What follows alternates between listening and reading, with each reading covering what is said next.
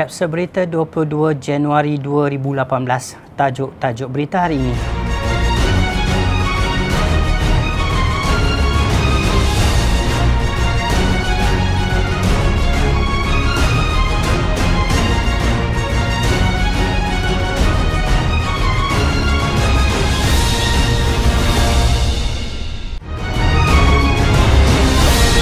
Sindiket seludup 85 ketulan syabu dari negara jiran yang akan diproses dan digunakan oleh 450,000 penagih berjaya dipatahkan polis Pulau Pinang pada Jumaat dan Sabtu.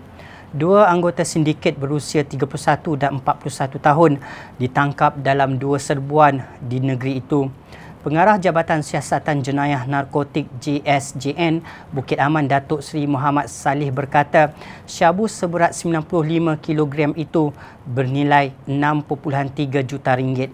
Menurut Muhammad Salih, hasil risikan dan intipan sejak sebulan lepas, sepasukan polis menyerbu sebuah rumah di Kota Permai di Bukit Mertajam pada 4 petang Jumaat dan menahan seorang lelaki. Hasil pemeriksaan di dalam rumah tersebut polis merampas 86 ketulan syabu yang dipercayai dibawa masuk dari negara jiran dan ditempatkan di kediaman yang disewa sindiket berkenaan. Sindiket menjadikan rumah tersebut sebagai tempat memproses dadah sebelum membungkusnya semula dan mengedar kepada anggota sindiket. Dadah yang dirampas itu adalah untuk dipasarkan ke seluruh negara.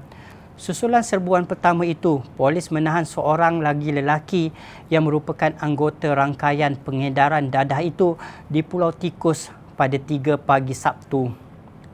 Jelas Muhammad Saleh, dua lelaki itu dipercayai terlibat dalam kegiatan pengedaran dadah sejak tahun lepas. Mereka turut positif dadah dengan seorang daripada mereka mempunyai rekod lampau berkaitan jenayah dan direman selama enam hari. Kasih dan rindu seorang ibu sanggup berbuat apa sahaja termasuk memalsukan laporan dirinya lemas semata-mata untuk berjumpa dengan empat orang anaknya. Bernama melaporkan seorang wanita berumur 38 tahun di Maran Pahang nekat memalsukan berita dirinya lemas kerana mahu berjumpa dengan anak-anaknya selepas bercerai sejak dua bulan lalu. Akibat laporan itu, operasi mencari dan menyelamat dilakukan dengan kerjasama Jabatan Bomba dan Penyelamat Pahang sejak semalam diberhentikan hari ini.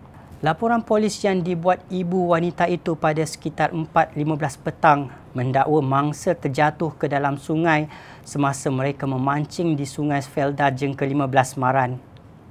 Siasatan awal mendapati wanita itu menetap dengan ibunya selepas bercerai manakala empat anaknya berada di bawah jagaan bekas suami di Dong Raub.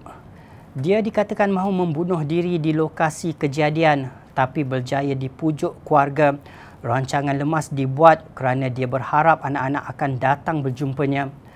Nur Zamri berkata siasatan dijalankan mengikut Seksyen 192 Kanun Keseksaan kerana membuat laporan palsu. Wanita itu akan dirujuk kepada Jabatan Kebajikan Masyarakat bagi mendapatkan perkhidmatan kaunseling. Kemudahan untuk sekumpulan pengguna tidak semestinya bermanfaat kepada pengguna yang lain. Itu yang berlaku terhadap kemudahan laluan basikal di ibu negara. Tindakan Dewan Bandaraya Kuala Lumpur di BKL memasang pemisah laluan basikal dan laluan kenderaan di Kuala Lumpur mengundang bantahan pengguna jalan raya. Sejak semalam tular di media sosial insiden kemalangan motosikal didakwa berpunca daripada laluan basikal yang licin di simpang Jalan Sultan Ismail berdekatan pusat beli belah Maju Junction posting dengan gambar seorang lelaki duduk berlunjur dengan kesan luka dan darah itu kemudian dikongsi sebanyak ratusan kali selain ribuan komen netizen. Ramai daripada mereka mempersoalkan kewajaran laluan basikal berkenaan selain menimbulkan pertanyaan mengenai spesifikasi projek tersebut. Mengambil kira rungutan orang ramai di BKL hari ini mengambil tindakan segera membuka semula pemisah laluan basikal dan laluan kenderaan Pengarah Eksekutif Pengurusan Projek di BKL, Datuk Mahdi Cik Ngah berkata, langkah itu diambil selepas pemasangan alat tersebut didakwa membahayakan pengguna jalan raya terutama penunggang motosikal. Walaupun berdepan insiden kemalangan maut melibatkan remaja berbasikal lajak secara berbahaya dilaporkan media, namun masih ada yang tidak mengambil pengajaran. Antaranya empat remaja berusia 14 tahun dan 15 tahun serta masih bersekolah ditahan pihak polis malam kerana menunggang basikal lajak secara berbahaya. Aksi nekat mereka dirakam di kawasan perumahan Persiaran Meranti Sri Damansara 13 berhampiran Lebuh Raya Baharu Lembah Kelang. Ketua Polis Daerah Petaling Jaya Assistant Commissioner Muhammad Zani Cik Din berkata, saman dikeluarkan mengikut peraturan 42 kurungan 1 kurungan A LN 166 Palang 59 kaedah-kaedah lalu lintas 1959 kerana mengubah basikal tidak memiliki brek dan loceng. Gara-gara mahu bergambar bersama pemain bola sepak, seorang penyokong cedera akibat jatuh ke dalam longkang sedalam 2 meter. Menurut juru cakap agensi pertahanan awam Malaysia, kejadian berlaku kira-kira pukul 9.55 malam ketika tamat separuh masa pertama perlawanan persahabatan Pulau Pinang menentang Kedah di Stadium Negeri Batu Kawan. Berdasarkan siasatan awal, lelaki berusia 30-an itu dikatakan memanjat pagar untuk merakam gambar bersama pemain namun gagal mengimbangkan badan dan jatuh ke dalam longkang. Usaha mengeluarkan mangsa mengambil masa hampir 15 minit kerana keadaan fizikal mangsa yang besar.